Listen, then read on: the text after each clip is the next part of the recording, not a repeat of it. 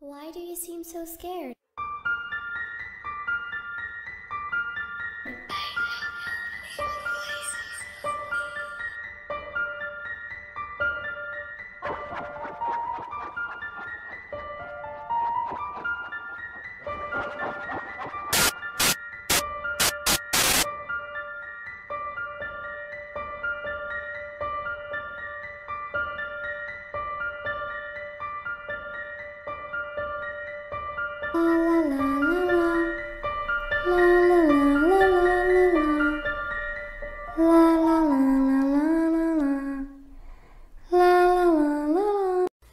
It's Christine and welcome back to Paranormal TV. So today I'm going to be talking about my favorite house downtown to go and visit in downtown Philadelphia.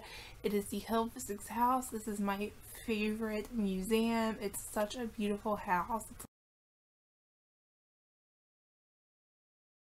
so rich in history. So Dr. Physick is known as the father of American surgery and for really good reason.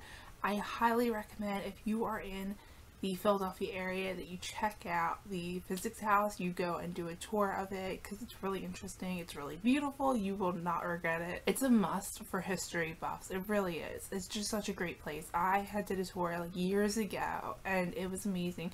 My tour guide was really good. He was an older man so i don't even know if he's like even still alive but it was such a great tour and I'm, I feel like you know anybody who's doing the tour is probably going to give you a very similar tour. You'll probably have a similar experience that I had and it was really great. So not only is this house beautiful rich in history but it's also supposedly haunted which makes it another sorry if you heard that but that makes it another great reason to go and visit this house.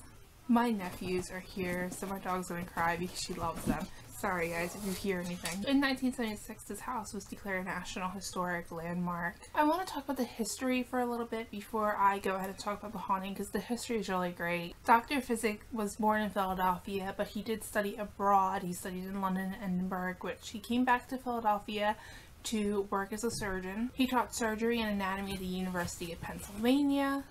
Dr. Physick was very innovative. He brought new techniques. He, so in 1793, the yellow fever epidemic hit Philadelphia and it hit it hard and a lot of doctors were leaving Philadelphia at this time but Dr. Physick was one of the few who stuck around. He worked with his friend Benjamin Rush and while he was working with fever victims he actually came down with yellow fever himself and he accredits his survival to Benjamin Rush. Dr. Physick was actually elected the first professor of surgery in the University of Pennsylvania. So you can see he's very revolutionary. He was very revolutionary. Another thing he did was actually come up with, you know, Coke for the stomach, which actually some doctors still believe to this day. So you can actually get the Coke that he came up with in various places downtown.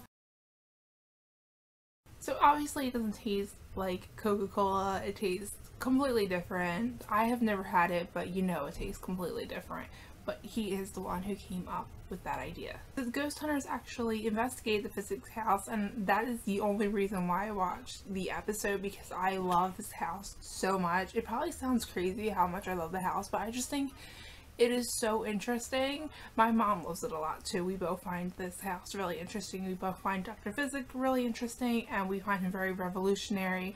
He was a very revolutionary doctor. You cannot deny that. They are so loud. I'm sorry if you guys can hear the loudness that is my nephews, but they're little and they're excited to be here. You probably hear my sister-in-law who is just as loud, if not louder, than the children.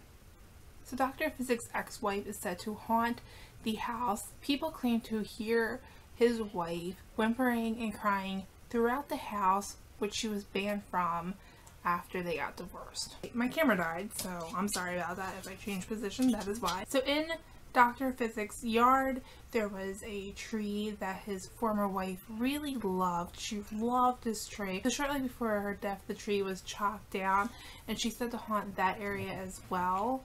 So one thing that I did hear that I cannot find anywhere, but I remember hearing it on my ghost tour that I did a while ago. So there was a man there who was a tour guide.